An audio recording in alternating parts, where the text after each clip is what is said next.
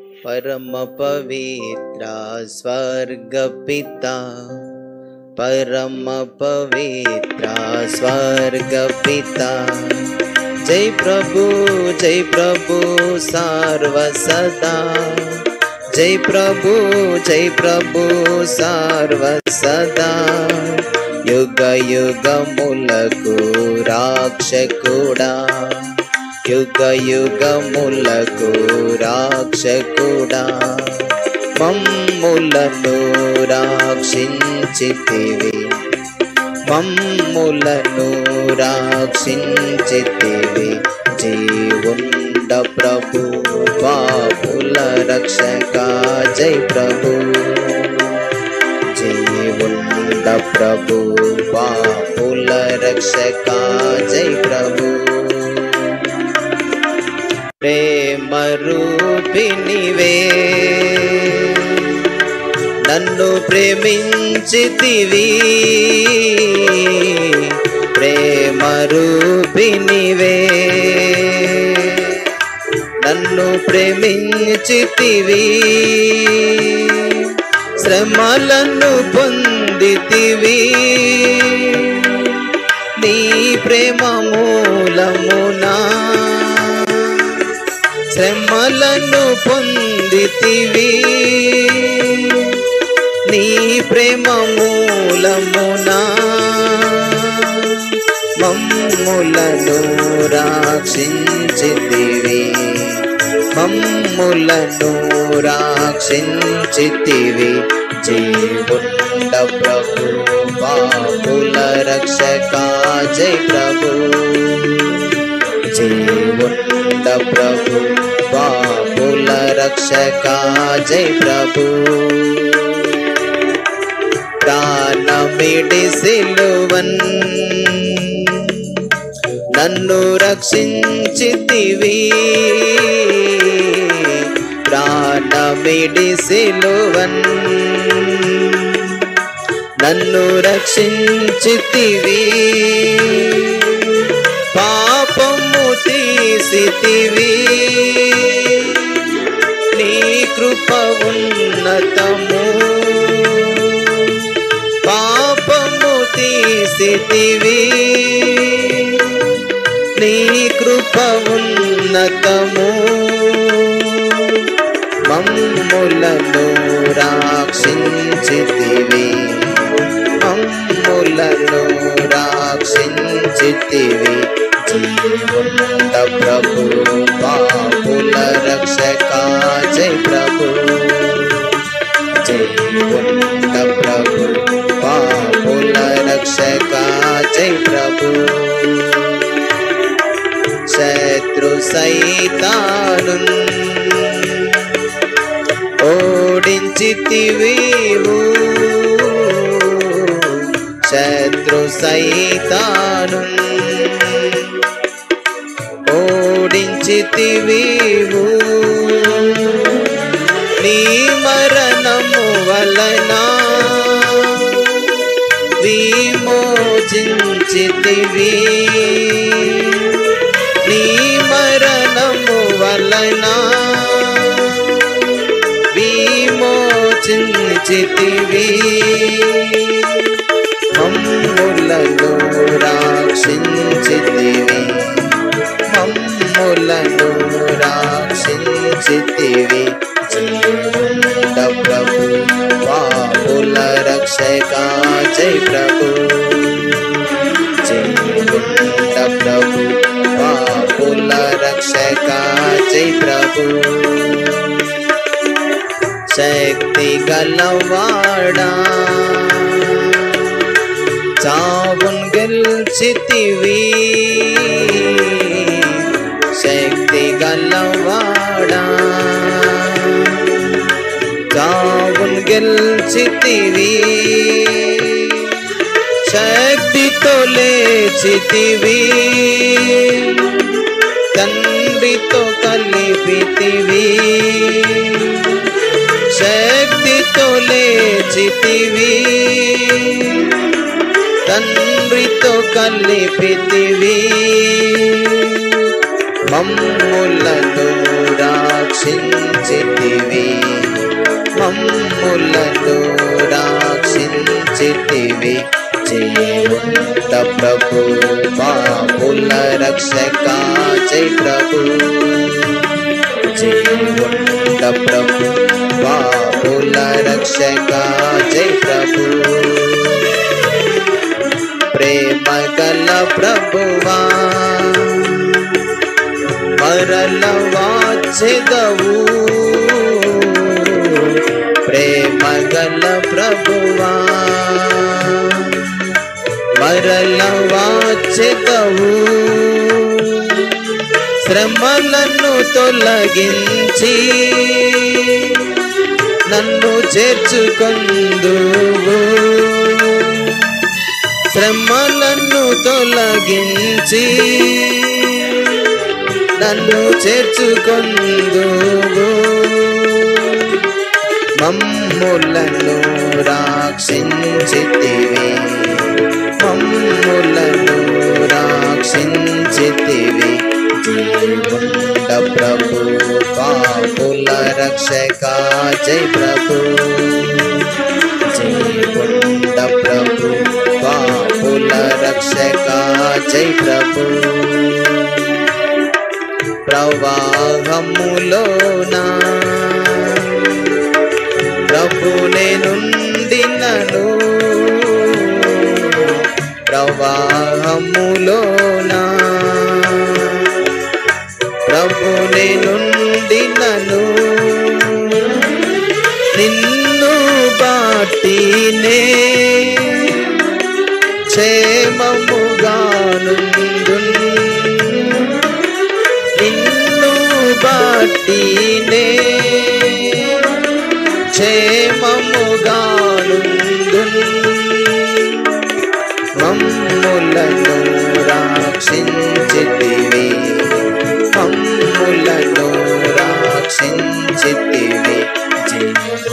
జీవుండ ప్రభు పాపుల రక్షక జై ప్రభు జై గోవింద ప్రభు పాపుల రక్షక జై ప్రభు జై జయని పాడుడి ఏసునకే మహిమా జై జయని పాడుడి. ఏసునకే మహిమా జై జై హల్లెలూయా జై జై హల్లెలూయా జై జై హల్లెలూయా జై జై హల్లెలూయా మమ్ములను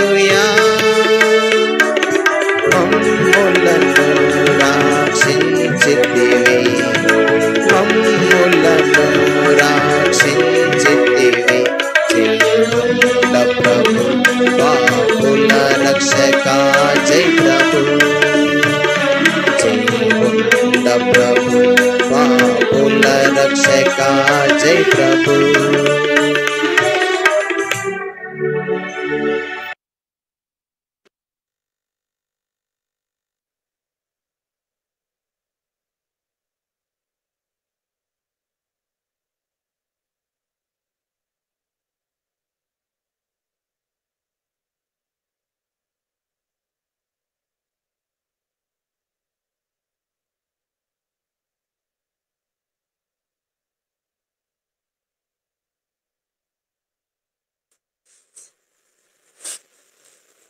ప్రార్థన చేసుకుంటామండి.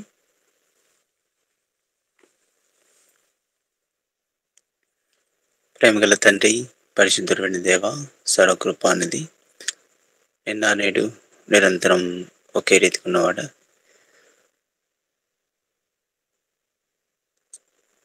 ఎన్నడూ మారని మార్పు చెందిన దేవ. అనంతమైన జ్ఞాని యేసుప్రభు ఘనమైన ఉన్నతమైన నామని బట్టి హృదయపూర్వకమైన వందనాలు చెల్లిస్తూ ఈ రీతిగా ఈ యొక్క ఉదయకాల సమయం ముందు మీ పిల్లంగా చేరి మీ సన్నిధిలో ఈ రీతిగా మోకరించడానికి రాగలిగే శ్రేష్టమైన ధన్యకరమైన అవకాశం కొరకు మిమ్మల్ని స్థుతించి ఆరాధిస్తుంటున్నాం.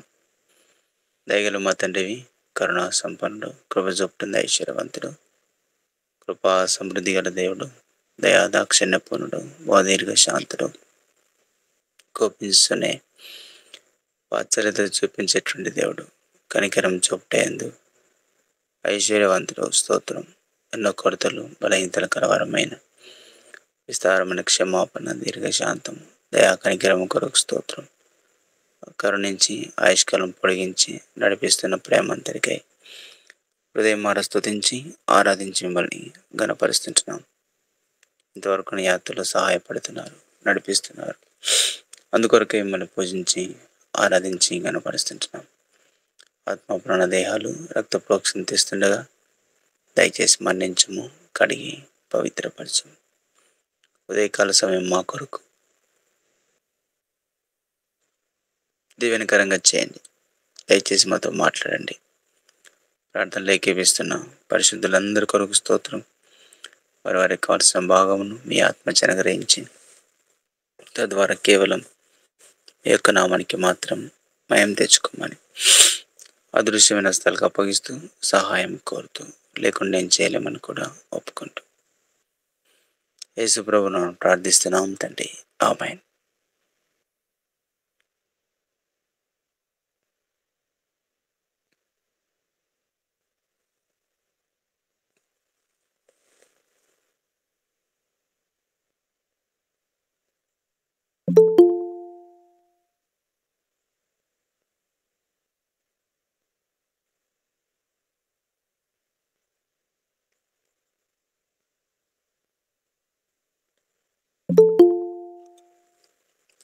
కీర్తనలు యాభై. కీర్తనలు యాభై.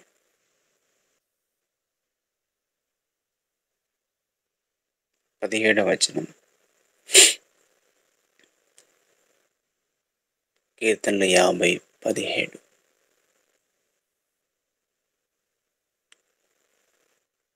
దిద్దుబాటు నీకు అసహ్యము కదా నీవు నా మాటలను నీ వెనుకకు త్రోసివేసేదావు.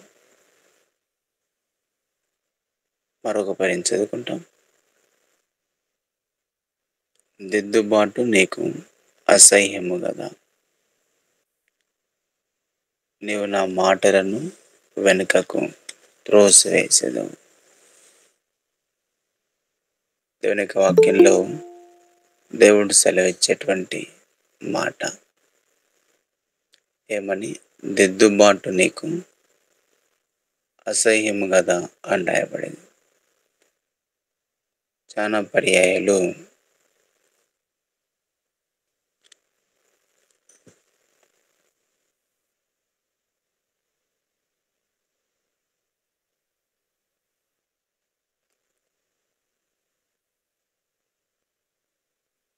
దిద్దుబాటుని ఏం చేస్తాం? అసహించుకుంటాం అనగా దిద్దుబాటు అంటే డిసిప్లైన్ ఆర్ ఇన్స్ట్రక్షన్.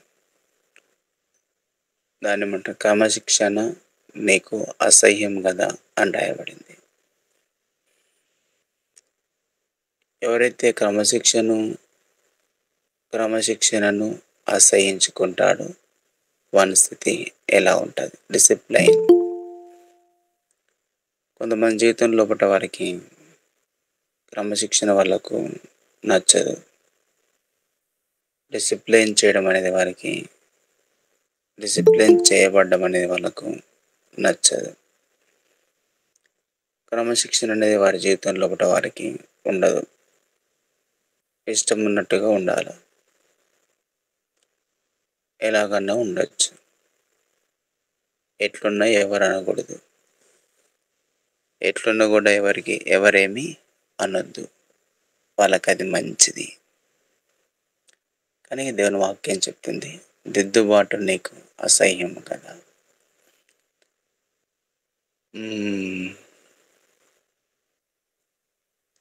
సామెతలు.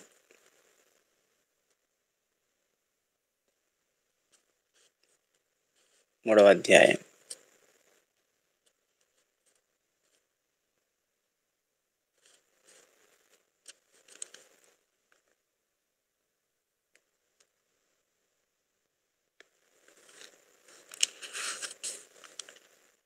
సామెతలు. సారీ. ఒకటవ అధ్యాయం. సామెతలు ఒకటో అధ్యాయము.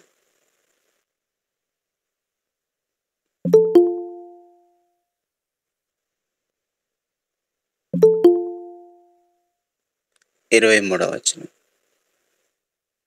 ఇరవై మూడు. నా గద్దింపు విని తిరుగుడి. నా ఆత్మను మీ మీద కుమ్మరించుదను.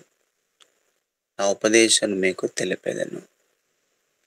తర్వాత నేను పిలవగా మీరు వినకపోతే నేను చేయి చాపగా ఎవరు లక్ష్య పెట్టకపోయిరి. నేను చెప్పిన బోధ ఏమీ మీరు వినక త్రోసి వేసి తిర్రి. నేను గద్దింపగా లోబడక పోతిరి కాబట్టి మీకు అపాయం కలిగినప్పుడు నేను ఆపేదను మీకు భయం వచ్చినప్పుడు నేను అపహాస్యము చేసేదాను భయం మీ మీదకి తుఫాను వల్ల వచ్చినప్పుడు సుడిగాలి వచ్చినట్లు మీకు అపాయం కలిగినప్పుడు మీ కష్టమును దుఃఖమును ప్రాప్తించినప్పుడు నేను అపహాస్యం చేసేదాను కారణం ఏంటి? గద్దింపు నీకు అసహ్యం. కాబట్టి ఆయన గద్దింపగా ఏం కాలేదు లోబడలేదంట. దేవుని వాక్యం చెప్తా ఉంది. దిద్దుబాటు అసహించుకుంటాం. గద్దింపు అసహించుకుంటాం. క్రమశిక్షణ అనేది చాలామందికి ఇష్టం ఉండదు లోకరీతిగా ఉండాలా? ఇష్టానుసారంగా జీవించాలా? నచ్చిన మార్గంలో వెళ్ళాలా? నచ్చినట్టుగా బ్రతకాల? మా పెదవులు మావి మా కాళ్ళు చేతులు మావి మా కళ్ళు మావి. కాబట్టి నా శరీరము నా ఇష్టము నేను నచ్చినట్టు నేను చేసుకుంటాను అనిపిస్తుంది కొన్నిసార్లు. ఎవరైనా గద్దిస్తే ఏమనిపిస్తుంది? ఎంతో ఆయాసం అనిపిస్తుంది. ఎంతో బాధ అనిపిస్తుంది. నేను నాకు నచ్చినట్టుగా నేను చేసుకుంటున్నప్పుడు ఈయనకెందుకు? అటువంటి తలంపులు కూడా వస్తుంటాయి కొన్నిసార్లు. కాబట్టి ఎందుకు? అలాంటి వాళ్ళే డిసిప్లైన్ను అసహించుకునేవాళ్ళు. దిద్దుబాటును అసహించుకునేవాళ్ళు వాళ్ళే. ఎందుకంటే తమ ఆలోచన అనుసరించి సొంత మార్గం నడుచుకు చెడు మార్గం నడుచుకునేటువంటి మనుషులు. తమ ఆలోచన అనుసరించి సొంత మార్గంలో నడుచుకునేటటువంటి మనుషులు వాళ్ళే. గ్రంథంలో ఒక సంగతి గుర్తొస్తుంది. హెరోదియన్ గురించి ఆ యొక్క యోహాన్ను హెచ్చరించినాడు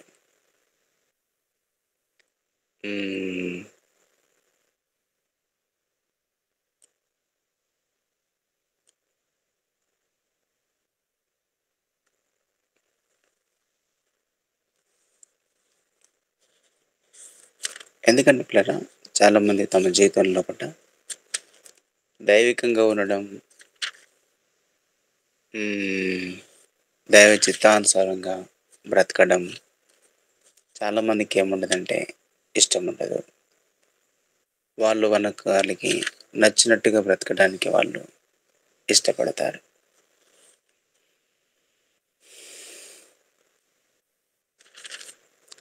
కొంతమంది క్రమశిక్షణ చెప్తే ఏం చేస్తారు వాళ్ళు? చెప్పిన వాళ్ళని అసహించుకుంటారు. ఎందుకంటే వారి జీవితం లోపల ఆ విధంగా ఉండడం వారికి ఎంత మాత్రం కూడా ఇష్టం వాళ్ళకి ఉండదు. ప్రభు కోరింది డిసిప్లైన్. దేవునికి ఇష్టమైంది ఏంటిది? డిసిప్లిన్ దేవునికి ఇష్టం.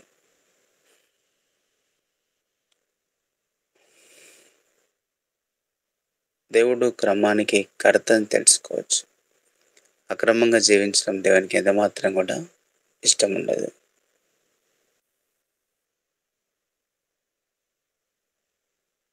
గ్రంథంలో మనం చూస్తాం.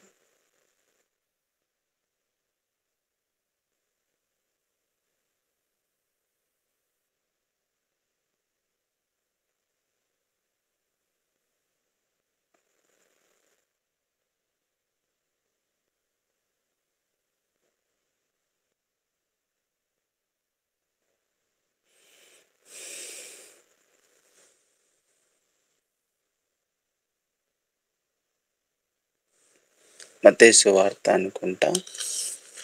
ఆరవ అధ్యాయం.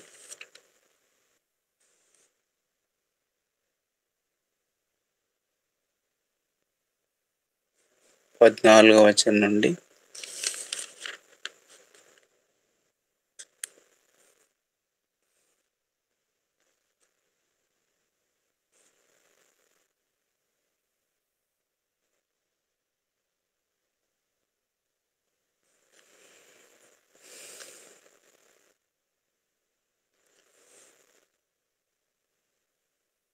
సారీ మార్కు సువార్త మార్కు సువార్త ఆరవ అధ్యాయం.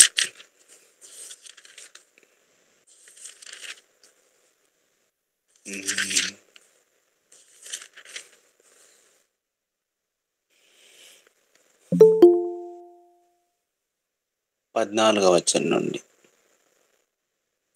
ఆయన కీర్తి ప్రసిద్ధమైన గనుక రాజైన హేరోతు ఆయన గురించి విని బాప్తిజం ఇచ్చేవారు మృతుల్లో లేచి ఉన్నాడు కనుక అతని ఎంత అద్భుతములు క్రియారూపం కమ్మలాగుచున్నావని చెప్పాను. తర్వాత ఇతరులు ఈయన ఎలియానియు మరికొందరు ఈయన ప్రవక్త అని ప్రవక్తలో ఒకరిని చెప్పుకొనుచుండరి. అయితే హేరోతు విని నేను తలగొట్టించిన యోహానే అతడు మృతుల్లోండి లేచి ఉన్నాడని చెప్పాను. పదిహేడవ వచనం. హేరోదు తన సహోదరు ఫిలిప్ భార్య అయిన హేరోదియను పెళ్ళి చేసుకున్నందున యోహాను నీ సహోదరుని భార్యను చేర్చుకుంటే నీకు న్యాయం కాదని హేరోదుతో చెప్పాను. ఈ మాట గమనించండి. హేరో తన సహోదరుడు ఫిలిప్ భార్య అయిన హేరోదియను పెళ్ళి చేసుకున్నందున యోహాను నీ సహోదరుని భార్యను చేర్చుకొనుట నీకు న్యాయం కాదని హేరోదుతో చెప్పాను గనుక. అతడు ఇది నా నిమిత్తం యోహాన్ను పట్టి తెప్పించి చెరసాల్లో బంధించి ఉంచాను. కారణం ఏంటి చేసిన తప్పేంటి యోహాను? నువ్వు ఇలా చేయకూడదు అంటని చెప్పాడు హేరోద్దు ఇది చేయడం తగినటువంటి పని కాదు అంటని చెప్పాడు అంతే అందుకని యోహాను చెరసాలలోనికి వెళ్ళాడు పంతొమ్మిది ఇరవై. హేరోదియా అతని మీద పగపట్టి అతని చంపింపగోరిన గాని ఆమె చేత కాకపోయాను. కాబట్టి హేరోదియ కూడా కోపం ఎవరి మీద? యోహాను మీద. వెళ్ళినట్లయినా చంపేలా. ఎందుకు చంపేలా? కారణం ఏంటి? దేవుని వాక్యం చూడండి. యోహాను నీతిమంతుడును పరిశుద్ధున్న మనుషుని హేరోదు ఎరిగి అతనికి భయపడి అతన్ని కాపాడుచు వచ్చాను మరి అతని మాటలు విన్నప్పుడు ఏమి చేయని తోచకపోయినను సంతోషంతో వినిచుండెను. కాబట్టి అతని మాట ఏం చేయనికి అర్థం కావట్లే కానీ సంతోషంగా వింటా ఉన్నాడు. తగిన దినం ఒకటి వచ్చినట్లు ఏరో తన జన్మదినోత్సవం మందు తన ప్రధానులకు సహస్ర గల్లే దేశ ప్రముఖులకు విందు చేయించను. అప్పుడు హెరోదియ కుమార్తె లోపలికి వచ్చిన నాట్యమండి హెరోదితో కూడా పంక్తినికి వచ్చిన వారికి సంతోషపరిచిన కనుక రాజు నీకు ఇష్టమైనది ఏదైనా అడుగుము. నేను నీకు చిన్నదాంతో చెప్పాను. తర్వాత హేరోదు ఇరవై ఐదో వచనం ఆ వెంటనే ఆమె త్వరగా రాజునతోకు వచ్చి బాప్తిజం యోహాన్ తన పల్లెములో పెట్టి ఇప్పుడే నాకు ఇప్పింప గోరుచున్నానని చెప్పాను. రాజు బహుగా దుఃఖపడిగానే తాను పెట్టుకున్న ఒట్టి నిమిత్తం తనతో కూర్చున్న వారి నిమిత్తం ఆమెకు ఇయ్యను అననులక పోయాను. వెంటరాజు తన తల అతని తల తెమ్మని ఆజ్ఞాపించకు బంట్రౌతుని పంపాను. వాడు వెళ్ళి చెరసాల్లో అతని తల కొట్టి కారణం ఏంటి? యోహాను హేరోదును దిద్దుబాటు చేయడానికి ఇష్టపడితే యోహాను తల యోహాను చెరసాల్లో బంధించబడ్డాడు. యోహాను హేరోదియను గురించి హెచ్చరిస్తే హేరోదియ కమ్మి ఆయన మీద కోపం వచ్చి అతని చంపాలని చూసింది. దిద్దుబాటు అసహించుకున్నటువంటి జనం కరెక్షన్ చేయబడడానికి ఇష్టపడినటువంటి జనం. గుర్తించుకున్నారా చాలామంది జీవితాలు కూడా దేవుడు సెలవిస్తున్నప్పుడు సరి చేసుకోమంటాను దేవుడు సెలవిస్తే సరి చేసుకోవడానికి వాళ్ళకి ఇష్టం ఉండదు. ఆశ కూడా అంతే. ఆ యొక్క ప్రవక్త వచ్చి ఆయన హెచ్చరించినప్పుడు ప్రవక్తను తీసుకొని పోయి చెరసాల్లో వేశాడు. చెరసాల్లో వేసి అతనికి ఎండిపోయిన రొట్టె ముక్కలు పెట్టడం ప్రారంభించాడు. దేవుని వాక్యం గుర్తించు. దేవుడు మనం క్రమంలో లేనప్పుడు అక్రమమైన మార్గంలో వెళ్తున్నప్పుడు దేవుడు హెచ్చరిస్తున్నప్పుడు దాన్ని సరి చేసుకోవడం మంచిది. కానీ దిద్దుబాటును అసహించుకుంటే వచ్చే నష్టం ఏంటి తెలుసా? ఇంతంత కాదు. ఆశ దిద్దుబాటును అసహించుకున్నాడు. చివరికి పాదముల్లో పురుగులు పడి చచ్చాడు. అంతమించి ఇంకోటేం కాదు. ఏలి కుమారులు దిద్దుబాటును అసహించుకున్నారు. ఒక్కరోజే ఇద్దరు దేవుడు వారిని చంపాలనుకున్నాడు. చంపేశాడు కూడా. కాబట్టి దైవ గ్రంథంలో ఆయా సందర్భాల్లో గమనిస్తే కాబట్టి సరి చేసుకోవడానికి ఇష్టపడకపోతే దిద్దుబాటును అసహించుకుంటే క్రమశిక్షణకు లోబడకపోతే దాని మూల్యం చెల్లించాల్సి వస్తుంది. దానికి ఒకరోజు మూల్యము చెల్లించాల్సి వస్తుంది. నీతిమంతైనటువంటి యోహాను పరిశుద్ధమైనటువంటి యోహాను మరణానికి కారణం హెచ్చరించిన దాన్ని బట్టే గుర్తించలేరా అనేక సందర్భాల్లో హెచ్చరిక చేయడం మంచిది కాదు. కానీ దేవుడు హెచ్చరించమన్నప్పుడు హెచ్చరించకపోతే కూడా మంచిది కాదు. కాబట్టి దేవుడు హెచ్చరించమన్నప్పుడు హెచ్చరికను స్వీకరిస్తే ఎంతో మంచిది.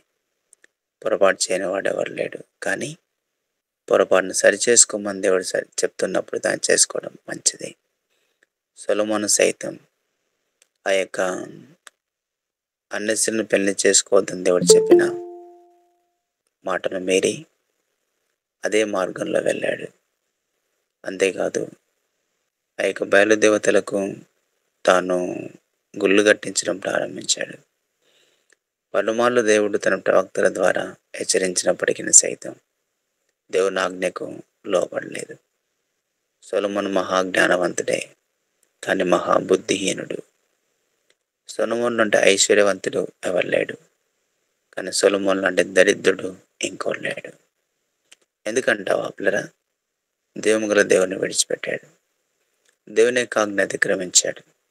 దేవుని యొక్క మీరి సొంత మార్గంలో వెళ్ళడం ప్రారంభించాడు. కొన్ని దేవుడు హెచ్చరించక మానేశాడా? క్రమపరచక మానేశాడా? క్రమపరచక మానలే. కానీ దేవుడు చెప్పిన మాటను త్రోసివేశాడు. దేవుని మాటకు ఎంత మాత్రం లోబడలేదు కాబట్టి తన రాజ్యం అతని చేతుల నుంచి తీయబడి తన దాసునికి ఇవ్వబడింది ఎంత ఉన్నతమైన స్థాయికి ఎదిగిన వాడైనా క్రమశిక్షణకు లోబడకపోతే వాడు కింద పడడం మాత్రం సహజం. ఎంత ఉన్నతమైన స్థాయికి వెళ్ళిన వాడైనా సరే క్రమానికి లోబడకపోతే వాడు నాశనం అవ్వడం మాత్రం ఖచ్చితం. అందుకని ప్లరా మన మార్గాల్లో దేవునికి అసహ్యమైన ఏదైనా ఉంటే దేవుడు హెచ్చరిస్తున్నప్పుడు సరి చేసుకోవడం ఎంతో మంచిది. దిద్దుబాటును అసహించుకున్న ఆశ దిద్దుబాటును అసహించుకున్నటువంటి స్వలమం దిద్దుబాటును అసహించుకున్నటువంటి ఏలి కుమారులు వారు తమ జీవితం లోపల నష్టపోయారు. కాబట్టి క్రమాన్ని క్రమశిక్షణకు లోబడని జీవితం అది నష్టానికి దారితీస్తుంది తప్పకుండా. కాబట్టి విశ్వాస జీవితం లోపల కొన్నిసార్లు పిల్లల్ని గారం చేస్తూ ఉంటాం. గారాభం ఎంత గారాభం అంటే అంత గారాభం వాళ్ళని ఏమనం? వాళ్ళు ఏం మాట్లాడినా ఏం చెప్పినా ఏమనం. కానీ వాడు పిల్లవాడు ఉన్నప్పుడు వాడు క్రమపరచబడకపోతే వాడు పెద్దోడైపోతే ముదిరిపోతాడు వాడు ముదిరిన తర్వాత ఇంటికి కాదు. వాడిగా వాడు ఏ దారిలో వెళ్తాడో అర్థం కాదు. భయంకరంగా తయారవుతాడు. పిల్లరా దేవుని వాక్యం చెప్తా ఉంది. కాబట్టి మన తప్పిదాలు ఉన్నప్పుడు దేవుడు హెచ్చరిస్తుంటే సరి చేసుకోనికి ఇష్టపడతాం. హిజ్కియా సరి చేసుకున్నాడు. కన్నీరు విడుస్తూ దేవుని తట్టు తిరిగి ముఖం గోడు తట్టు తిప్పి ఏడుస్తూ సరి చేసుకున్నాడు. అలా సరి చేసుకున్న వారి జీవితాల్లో ఎంతోమంది బాగుపరచబడ్డారు. దేవుడు వారి ఆయుష్కాలం పొడిగిస్తూ వచ్చాడు. దావీదు తప్పు చేశాడు కానీ సరి చేసుకున్నాడు. దావీదు పాపం చేశాడు చేయాలని చెప్పట్లే. కానీ నా తను ప్రవక్త వచ్చి చెప్పిన వెంటనే తనను తాను సంపూర్తిగా తాను సరి చేసుకున్నాడు. లోబడ్డాడు. విధేయుడైనాడు. దీనుడయ్యాడు. దేవుని మాటకు లోబడ్డాడు. గుర్తించుతారా దేవుని వాక్యం చెప్తుంది.